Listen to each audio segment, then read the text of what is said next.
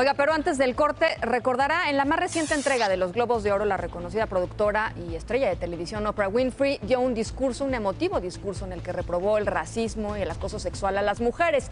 Sus palabras hicieron eco, empezaron los rumores sobre su posible candidatura a la presidencia por el Partido Demócrata. Bueno, pues ayer en entrevista con la revista InStyle, Oprah descartó participar en la elección del 2020 en la que el presidente Donald Trump se piensa reelegir. La presentadora dijo simplemente, no tengo el ADN para eso.